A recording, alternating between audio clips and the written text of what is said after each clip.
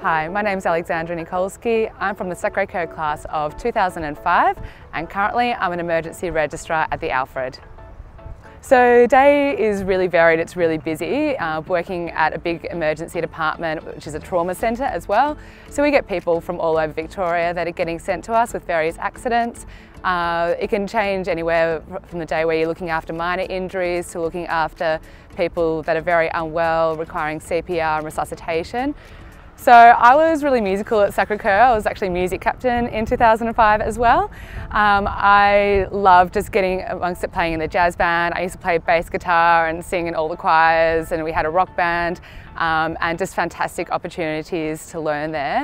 Uh, I also have fantastic memories of some of the educators there particularly you know, Mr. Oski who inspired me to do a psychology degree following school and just the school basically empowered young women to become strong and to do whatever we wanted. It was fantastic. So in my days back at school, STEM subjects were just starting. There were opportunities for people to do things like robotics, but there wasn't really that integrative science and arts that there is now. Um, I, to be honest, wasn't a very good science student at school and perhaps in, now if I was back there, I might be more engaged. Um, my year 11 science teacher actually recommended that I drop chemistry at the time and so look at me now.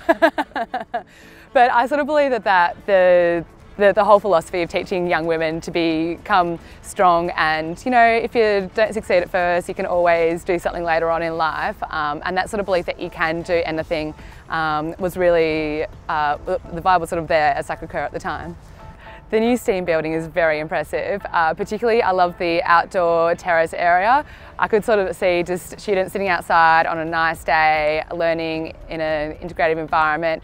Um, it looks like that it's there's lots of spaces uh, to collaborate with other students. Um, and I like the fact that, that there are less walls, so um, inviting everyone to kind of be together uh, and to learn together and work on different projects together. I think the STEM model of education being implemented at Sacre-Cœur and having a fantastic facility to be able to learn in a STEM environment is really fantastic for the students there. So my take-home message to any students would be is that I didn't go straight out of school into medicine, I did other things first and I think that Sacre-Cœur really gave me the uh, the resilience and the resources to be able to have different career paths and then uh, find my path in medicine, which is what I love doing now.